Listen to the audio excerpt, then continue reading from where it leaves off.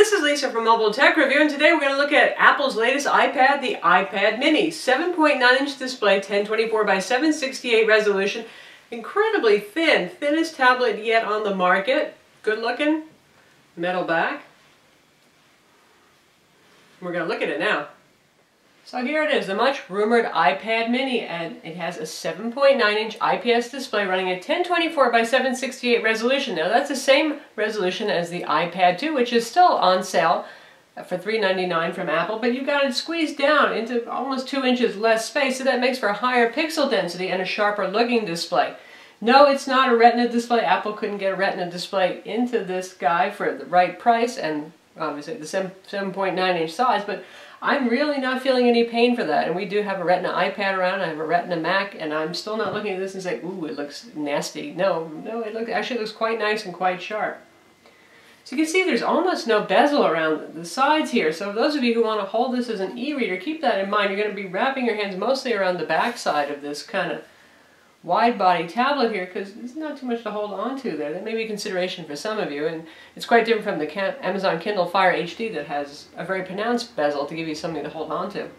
So you can see my hand is stretched pretty wide and I have a big hand and that's because this is a 4x3 aspect ratio tablet so it, it's not as tall and narrow as others which makes for natural reading when it comes to books. It's a little bit easier to read the narrow skinny column of text presentation you get on a 16 by 9 display it also means you will get black bars in videos that are in widescreen format. However, Apple kind of fights this so that you're not feeling like other 7-inch tablets have a advantage over this because, well, this is almost an inch bigger at 8 inches, so you're still really looking at about the same size actual video playing. We measured this with the ruler using the same video on a couple of different devices in the 7-inch size category. It's available in either black or white, same as with the new iPad and the newest new iPad usual black shiny bezel here, very thin. And the finish is like the new iPhone 5, which means it's that anodized aluminum finish, really gorgeous looking, 0.28 inches. It's so thin, it's freaky looking. It really does look like something out of a sci-fi movie. Certainly not clunky, it just about disappears in terms of thickness on the table. If we take a look at the back again, the same finish that you would see on the iPhone if you get the black model, really nice looking and they got that reflective little Apple logo there that lights up if the light hits it just the right way. Or you can get it with more of a, a silvery finish. Again, white model or black model, it's your choice as to which is available. The bottom here we have our new lightning connector. Just like the fourth generation iPad and the iPhone 5 comes with that cable. And it comes with the same charger that the iPhone comes with. So it's that little square block connector and it's not the bigger, chunkier adapter that you get with the larger iPad. And the speaker grills here, well, you know, Apple's been having two grills for a while, but only one of them actually was a speaker. The other one was a vent. These are actual stereo speakers. First time for Apple. Good times. Right here we have our 5 megapixel camera, not bad quality. I would put it as better than the iPhone 4, but not as good as the iPhone 5. We'll talk about that a little bit more later. Up top in the corner here we have our little power button, sticks out just a little bit so you can feel it and find it. Microphone hole up here. 3.5 millimeter audio jack there. And on this side we have our teeny weeny little volume controls and our combo function. You can use say for rotation lock on the side here. And that's about it. So gorgeous design, excellent materials. It feels like an expensive tablet. Relatively speaking, these days it is an expensive tablet compared to the Google Nexus 7 Android tablet, and Amazon Kindle Fire HD. Now those are two products that really are changing the market because they're so affordable at 199 starting price for the lowest storage capacity. And the reason that both Google and Amazon do that is because they want to make money on the content that you buy afterwards. Obviously with Amazon, they're hoping you're going to shop for just about anything that Amazon sells, get an Amazon Prime membership, buy their books, pretty obvious. And even with Google, there's a whole lot of services and stuff that they make money off of if you use Google software products. So it, it's putting the pressure certainly on folks who focus primarily on putting out nice hardware like Apple, even Toshiba, and Asus. Now that said, of course, Apple does have the whole iTunes ecosystem. They're making some money there at that point, but they're really they're fond of their high margins on hardware, and we'll just see if that ever changes. But anyway, for the huge majority of people that still are seemingly in love with iPads and iPhones, none of that really matters. They just want to get whatever, as Apple has made most recently. And well, for those of you who are liken the iPad by saying it's a little bit big to carry around everywhere. That 10 inch footprint is just about like carrying a little netbook around. This might be the answer that you're looking for, and we're going to compare it to the new iPad now, which is the 9.7 inch model. Here we have the new iPad. Now that's become an ambiguous statement, hasn't it? Because we have, have two new iPads, the iPad 3rd gen and 4th gen. This one happens to be the 4th gen. Same as the iPad 3, uh, the original new iPad, except it has a faster CPU inside. But anyway, this is all about the size comparison. So for those of you who are wondering how they compare, considerably smaller, yes? So, more portable. You could just about do that. It's going to overlap a little on the width, but to give you an idea of how much more you can carry around, well, that guy's more portable. At the same time, given the big 4x3 aspect ratio and the 8-inch display, it feels pretty darn big. I'm surprised other reviewers haven't commented on this compared to 7-inch tablets that I can actually hold in one hand easily. I have to do a real palm stretch to hold onto this guy. But the, the nice part is you don't feel as constricted. Sometimes with a 7-inch tablet you feel like, well, I just wish it was a little bigger to read web pages more easily without zooming. Or I wish my videos looked a little bit bigger and filled the screen, and likewise with games. And it's amazing what an inch can do. This guy really starts to feel more like a tablet than, than a, a kind of oversized phone, shall we say. And portability is more than just the dimensions. The, the new iPad is 1.5 pounds versus 0.68 pounds for the iPad mini, so a lot less heavy as well. And believe me, you do feel that if you're holding either of these in your hands for a while, the, the new iPad is pretty hefty. This guy certainly is not. Now the back on the on the black model, something like the iPhone, boy, it does show fingerprints. You can probably see we've been handling this for a while, and there's a whole lot of, uh, well, schmutz. And if we give it a wipe with our microfiber cloth, well, there's still a whole lot of schmutz. You really have to use a damp towel to get that clean. The, the silver version for the white iPad model, less so.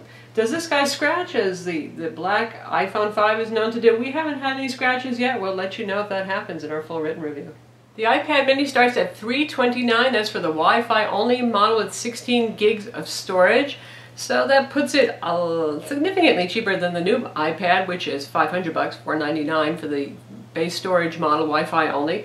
And it's still a little bit cheaper than the iPad 2, which is 399. Now, a lot of people think bigger is always better, so they're like, well, why wouldn't I get the iPad 2? Instead, it's bigger, it has the same CPU and all that kind of thing. Well, because some people want something that is smaller, lighter, easier to throw in their bag. Also, you get higher pixel density here, so you get a sharper looking screen compared to the iPad 2, again, because that 1024 by 768 resolution is squeezed into a smaller IPS panel. If you want to go up in storage, Apple charges $100 for each increment, so that means a 32 gig is going to set you back 429 and a 64 gig will be 529. We'd like to see them start charging less for their upward storage increments. It used to be all the manufacturers followed suit and had that same pricing model, but a lot of them are dropping the price down because flash memory prices have gotten lower. But still, that is what it is. Now for those of you who want this with cellular service built in for data, that means you get 3G and you get 4G LTE, and it's available on AT&T, Sprint, or Verizon, your choice. That starts at 459 so you're paying $130 extra for that cellular radio, and that carries through for each of the storage increments again. So let's do a little size comparison. We've got the Nexus 7 here, which is a 7-inch tablet, also has an IPS display, 1280 by 800 resolution, and you can see it's a little bit smaller. Certainly, it's mostly on the narrowness factor, and that's something you're going to notice if you hold it in one hand. Now, in terms of thickness, the new iPad is significantly thinner and a bit lighter as well. And we'll have a separate smackdown between these two tablets, so if you want to know the ins and outs of each. And now we have the Amazon Kindle Fire HD right over here, and these guys are a lot closer in size. The Kindle Fire HD is thicker and a little bit heavier. Uh, teeny bit shorter, but the width is about the same, and, and the Kindle Fire HD is a 7-inch tablet. What it has is very large bezels, relatively speaking, for today's modern tablets, around the size, uh, sides, and that's because, well, it's the more space I have to work with, the less expensive they can make it. Miniaturization of components does cost money, and also to give you a place to grab and hold onto when you're reading and holding it like a book. Put them on top of each other. You can see the size is just about the same, just a little bit taller for the iPad, and from the side the Kindle Fire is considerably thicker. But still, you know, neither the Nexus 7 nor the Kindle Fire HD are chunky, thick devices by any means. We're talking all slim devices, just that the iPad mini is so darn skinny. So what do you get for your $329? You get everything that you would get on the regular size iPad. Same exact user interface. It comes with iOS 6. It upgrades to 6.01 out of the box. Your usual icon grid right here, your customizable shortcuts. Same applications are bundled on here. You've got Apple Maps now instead of Google Maps. We've got Contacts, Calendar, Game Center, the usual settings, and magazine stand, iTunes of course, the App Store, Safari built in, the video player, music player. Nothing here is any different from the big iPad, so we're not going to go into in detail. If they haven't changed the experience at all. The only thing that's different is it's just a little bit physically smaller version of it. In terms of performance, you're basically looking at iPad 2 level performance here. It has the same A5 CPU, clocked at 1 gigahertz. It has 512 megs of RAM. On Geekbench 2, it scored 747, which is pretty good. And that's pretty much the same score that we've seen on the iPad 2, lower than the latest generation new iPad, which scored around 1750 on Geekbench 2, but that one has the new A6 CPU, so certainly a lot more brains in there. That, said, you know, I'm not feeling, oh, this is slow in any way. You know, Apple's iPad products and iPhones never are slow. And most of today's games, which are the most demanding apps out there, to be honest, 3D games, run just fine on this because there's a whole series of iPads out there that developers have to develop for iPad 1, iPad 2, and so on. So uh, right now I've been playing some pretty demanding games, not feeling any lag with that. On SunSpider, the JavaScript benchmark is scored 1541, not bad. That's certainly behind the iPhone 5 though, that scored an amazing 922 where lower numbers are better. Browsermark scored 121,353, good score there. GL Benchmark 2.1, the Pro Test, 60 frames per second, very good. Egypt Off-Screen, 90 frames per second, lovely. Egypt Standard, 60 frames per second. So, certainly not a slow device, even if it's not as fast as the Retina with the A6 CPU. So the 4x3 aspect ratio and resolution that are the same as the traditional iPad 1, iPad 2, what does that get you? It gets you a pretty comfortable browsing experience. Here right now, even using this in portrait mode, which is something I normally wouldn't do for web pages, text is teeny but it's readable. And I'm actually impressed with, relatively speaking, the clarity here for a non-retina screen. It's really not hard to read at all, and I'm not seeing a whole lot of pixel jaggies. So certainly, even a default zoom in portrait mode, that's not bad looking at all. And if we bring it up, stays nice and sharp and clear. Easy enough on the eyes for me. Hey, maybe you have really great eyes, but it's working for me. Now if we put this in landscape mode, there we are at default zoom. So it's nice, it's easy to read, and I feel like I'm getting a little bit more on the screen thanks to that screen size, so it makes it feel more like a desktop experience. And now we brought our Nexus 7 back in so you can see the difference in the amount of stuff you're going to see on screen at default zoom. So you're getting a lot more on the iPad in terms of the height here. And also a little bit more, it really has to do with how the browser is fitting the page in, but it seems like a little bit more in the width, but pretty much in the height. It's great. When you're reading on the Nexus 7, and I love my Nexus 7, one thing I have to say is I'm constantly, if I'm reading in landscape mode, scrolling. It's just a relatively narrow band of stuff to work with. And now compared to the Kindle Fire HD right here, which actually, the way it does the layout, gets you a little bit more text to see compared to our Nexus 7 there. Still not as much as the iPad, so there you go. Nice, nice web browsing experience there, reasonably clear text, and a fairly white neutral background. You can see our Kindle Fire is a little bit warm, actually a little bit yellow in comparison. Now, as you might have heard, the YouTube player is no longer installed by default in iOS 6 on the iPhone 5, and it's not yet ready for the iPad, so you have to use your Safari browser to walk on over to YouTube yourself and you're going to get the YouTube mobile site here in HTML5 format video. We have no issues with HTML5 format video. It's more lightweight, yet still just as good looking, but wouldn't mind that dedicated YouTube app coming back. But let's see how it does in terms of quality. And we'll take a look at the Microsoft Surface for a little competition here. This is Lisa from Mobile Tech Review, and this is the Microsoft. Surface RT tablet. This is running Windows 8 RT, we'll talk about Works for me. Looks CPU, nice. Good experience. And we're going to try out a cinematic widescreen movie. This is iTunes SD movie. You'll be able to see how much black bar there is, and we'll just skip forward a little bit.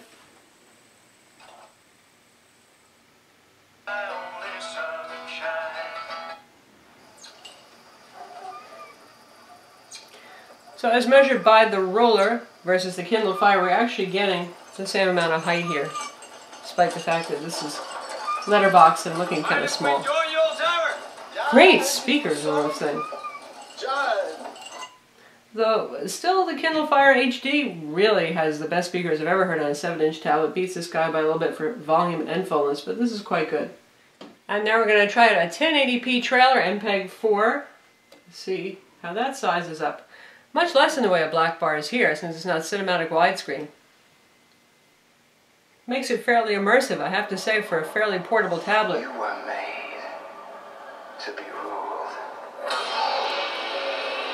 Bring that volume down a bit because it's so loud. So nice experience actually for watching 1080p content. Or 720p content at that, at that because you're not going to get too much of that black bar thing going despite the 4x3 aspect ratio.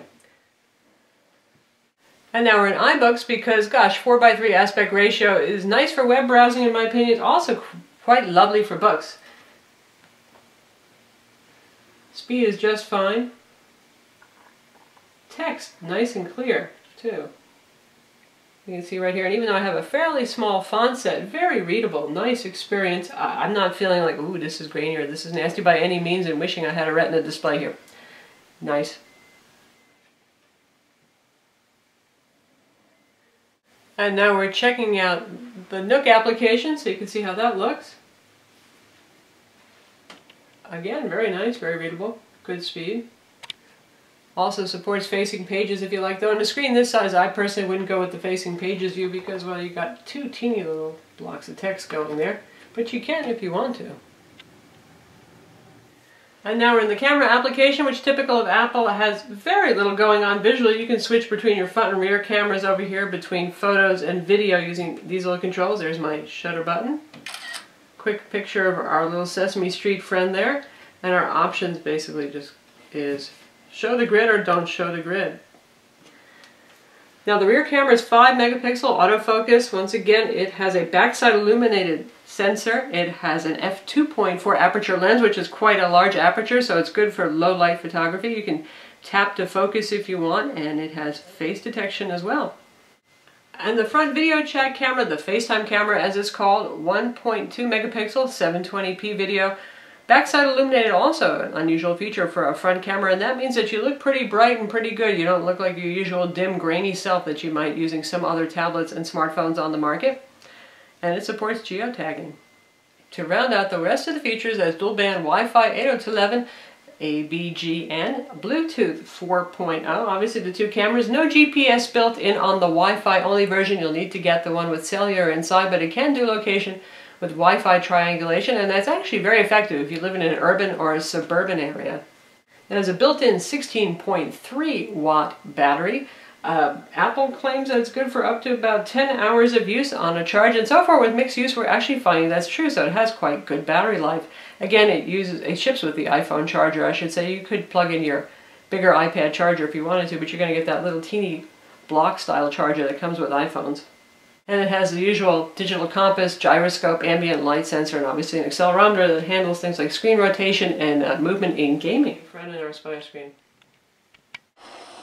So here we are, complete with water reflection, something that you get in Tegra 3 equipped Android tablets, but otherwise you miss out on. Let's see how this plays. Aiming around looks good. We're going to move up. And you don't have to worry about compatibility, since this is the standard resolution that's used on the iPad 1 and iPad 2, it's already supported. It's not like the iPhone 5 where you have to wait for the updated size.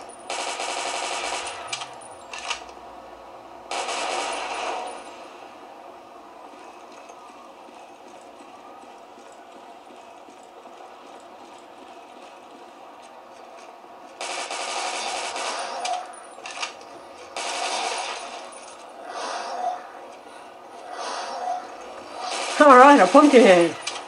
Happy Halloween.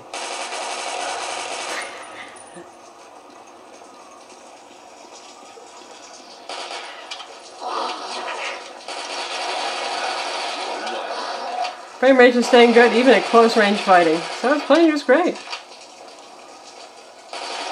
And the screen feels pretty big. It feels like a real fun gaming experience, not like I'm suffering from cut rate size here.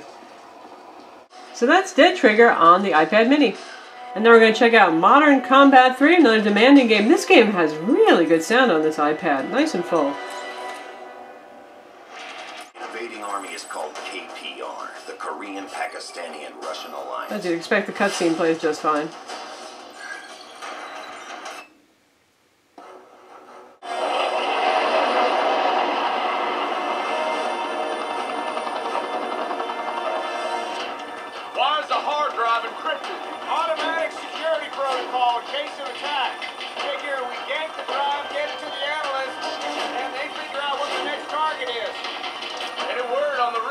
Rest of the And country? it's playing fine. We'll skip ahead. See who we can shoot.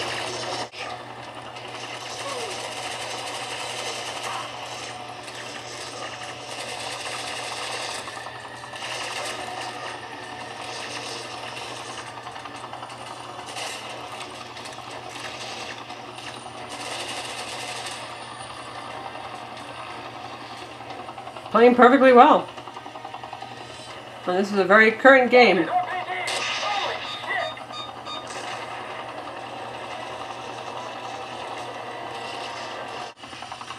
shit! So that's Modern Combat 3 on the iPad Mini. Plays great. So that's the iPad Mini, and yes, it is a smaller iPad. I mean, duh, I don't know why people say it's not just a smaller iPad. Obviously, this is a 7.9 inch iPad versus the 9.7 inch full size iPad. But that's a good thing because you get everything that an iPad can do right in here. More portable size, oh, almost one handed operation if you have big enough hands. Smaller price tag, not bad.